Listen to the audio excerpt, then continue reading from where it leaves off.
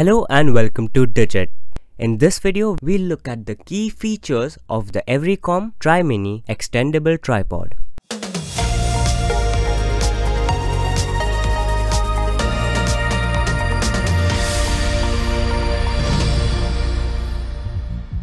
The tripod features a lightweight and compact design that makes it extremely portable.